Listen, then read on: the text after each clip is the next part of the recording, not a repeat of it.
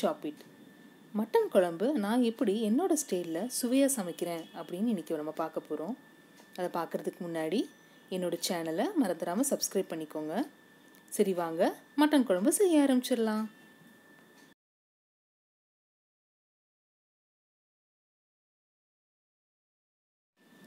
அரை கிலோ மட்டனை நல்லா கழுவிட்டு க்ளீன் பண்ணி ப்ரெஷர் குக்கரில் எடுத்திருக்கேன். மஞ்சத்தூள் உப்பு தேவையான அளவு தண்ணி சேர்த்து ஆறு விசில் விட்டு இப்போ வேக வச்சுக்கலாம்.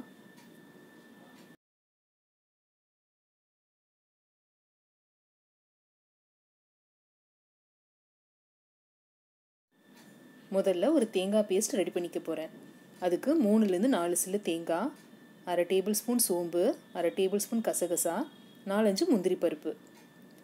கசகசாவை நான் பொதுவாக நல்லா வறுத்து பவுடர் பண்ணி ஃப்ரிட்ஜில் வச்சுருப்பேன். அதனால் கலர் கொஞ்சம் டார்க்காக தெரியுது.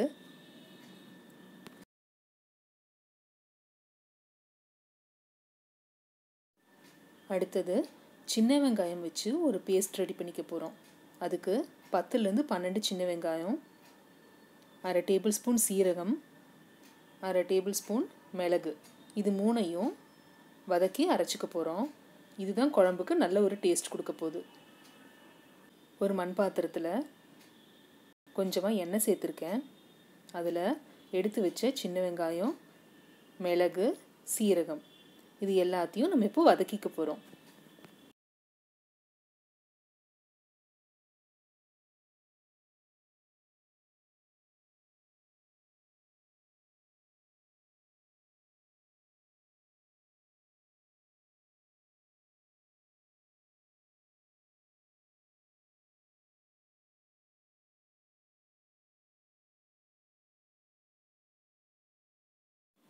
சின்ன வெங்காயம் மிளகு சீரகம் எல்லாம் வதங்கிருச்சு.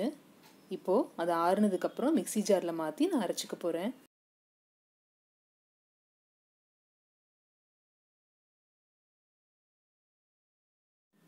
இப்போ குழம்பு செய்ய ஆரம்பிச்சிடலாம்.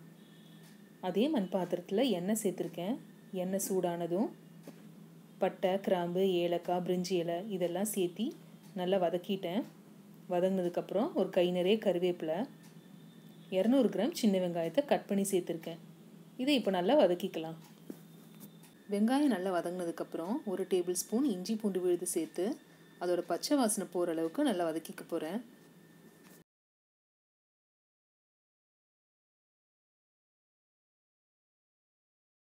இஞ்சி பூண்டு விழுதோட பச்சை வாசனை போனதுக்கப்புறம் அரைச்சி வச்ச வெங்காயத்தை சேர்த்து நல்லா வதக்கிக்கலாம். நம்ம சேர்த்த வெங்காய விழுதோட பச்சை வாசனை போகிற வரைக்கும் நம்ம கொஞ்சம் வெயிட் பண்ணலாம். வெங்காயத்தோட பச்சை வாசனை போயிடுச்சு. இப்போது மசாலா பொடியை ஒவ்வொன்றா சேர்த்துக்க போகிறோம் அரை டீஸ்பூன் மஞ்சள் தூள் ஒன்றரை டேபிள் ஸ்பூன் மிளகாய்த்தூள் ரெண்டு டேபிள் ஸ்பூன் மல்லித்தூள். மசாலா பொடியெல்லாம் சேர்த்ததுக்கப்புறம் அடி பிடிக்காத மாதிரி நல்லா கலந்து விட்டுக்கணும்.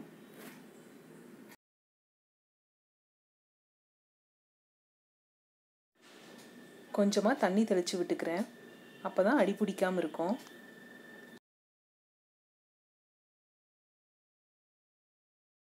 அடுத்தது அரை டீஸ்பூன் கரம் மசாலாவையும் சேர்த்து நல்லா கலந்து விட்டு வதக்கிக்கலாம்.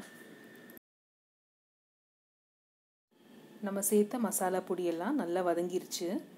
இப்போது தக்காளி சேர்த்துக்கலாம். ஒரு தக்காளியை நல்லா சின்ன சின்னதாக கட் பண்ணி வச்சுருக்கேன். அதை சேர்த்துருக்கேன். தக்காளி வதங்கிறதுக்காக கொஞ்சமாக உப்பு சேர்த்துக்க போகிறேன் உப்பு சேர்த்துட்டோம்னா தக்காளி சீக்கிரமாக வதங்கிரும்.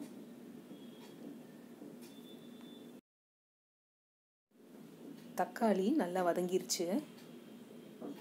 மட்டன் ரெடியாக இருக்குது அதை நம்ம சேர்த்துருவோம். ஆறு விசில் விட்டு நான் வேக வச்சு எடுத்து வச்சுருக்கேன்.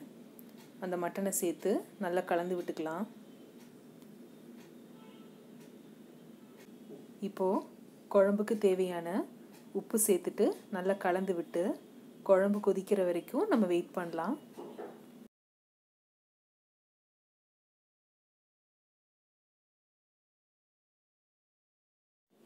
குழம்பு நல்லா கொதிச்சிருச்சு.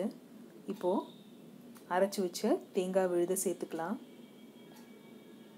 தேங்காய் விழுதை சேர்த்துட்டு கொஞ்சமாக தண்ணி சேர்த்து கலந்து விட்டுக்கலாம்.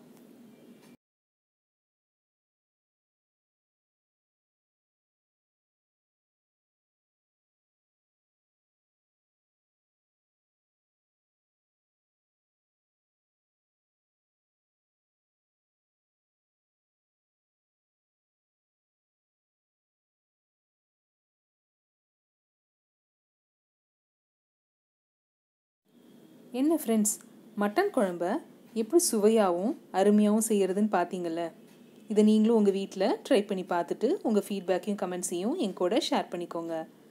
இந்த வீடியோ உங்களுக்கு பிடிச்சதுன்னா மறந்துடாமல் லைக் பண்ணுங்கள் குக்கிட் ஷாப்பிட் சேனலை சப்ஸ்கிரைப் பண்ணிக்கோங்க. தேங்க்ஸ் ஃபார் வாட்சிங் திஸ் வீடியோ